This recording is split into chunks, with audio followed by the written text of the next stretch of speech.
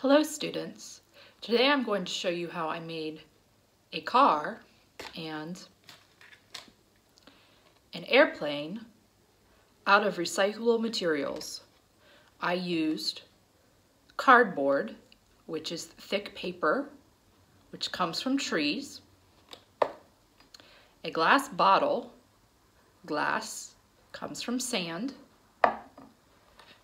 a bottle cap made of metal from minerals, and a plastic bottle cap made out of oil. I also used paint,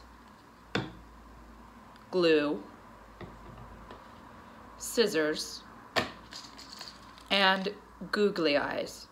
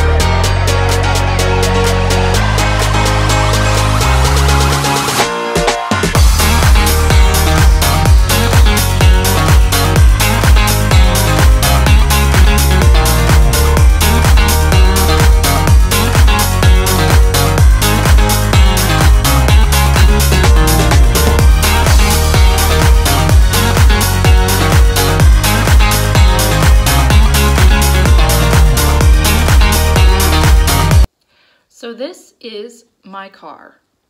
I made the body of the car out of cardboard, a type of paper And I made the wheels of the car out of bottle caps, which are made of metal. I made the headlights out of googly eyes. And this is my airplane. I made the body of the airplane out of a glass bottle. I made the tip of the airplane out of a plastic bottle cap that I glued onto the glass bottle. And I made the wings of the airplane out of cardboard. I cannot wait to see what vehicles you make with recycled materials.